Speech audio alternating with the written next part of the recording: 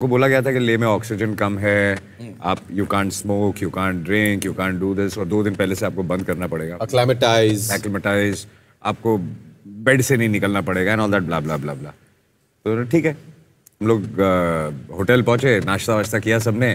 सबने बोला अब सो जाओ सारी रात सोए नहीं है and we need to acclimatise तो सब जाके अपने अपने बेड में सो, सो गए। तो आई थिंक सैफ और ये सब भागते हुआ है banging on doors Sanju's dying Sanju's dying Sanju's dying तो हम लोग सब भागे एंड हम लोग ने संजू को देखा तो संजू कांट ब्रीथ आप रहे थे वो एकदम। ऑक्सीजन का एक टैंक था वहाँ पे। ऑक्सीजन मास्क लगाया हुआ था इधर और he is lying down and doctors there और डॉक्टर ने बोला कि आप बिल्कुल स्मोक नहीं कर सकते ये नहीं कर सकते वो नहीं कर सकते you can't drink and all that and Sanju also said तब उसके बाद नींद किसको आएगी? तो हम सब संजू के ही कमरे में बैठ गए इधर उधर की बातें कर रही है वो।